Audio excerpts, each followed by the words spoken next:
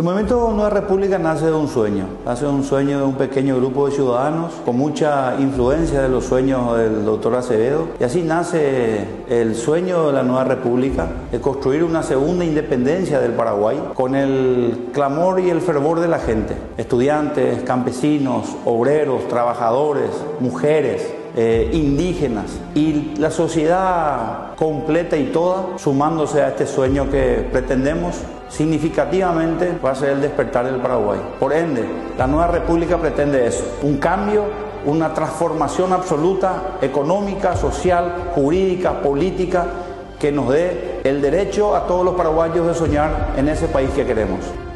Es muy importante trabajar por la nueva república porque necesitamos el recambio de nuestras autoridades para lograr un país mejor.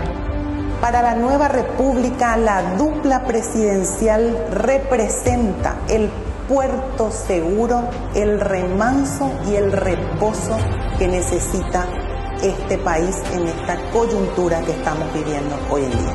Vamos a ganar y vamos a ganar porque es necesario construir un nuevo país y sabemos cómo hacerlo. Tenemos la transmisión y la idea exacta de cómo hacerlo. Por eso es que en el 2023 debemos de ganar. Porque hay que tener la lapicera, porque hay que tener la posibilidad de hacer, no de discutirlo solamente. La nueva república es un pacto con la historia, es un designio de la historia, es devolver al pueblo su legítimo derecho de gobernarse a sí mismo. Y nosotros, sus elegidos, le vamos a dar el sentido común, el rigor, el patriotismo y por sobre todas las cosas el respeto a la voluntad popular.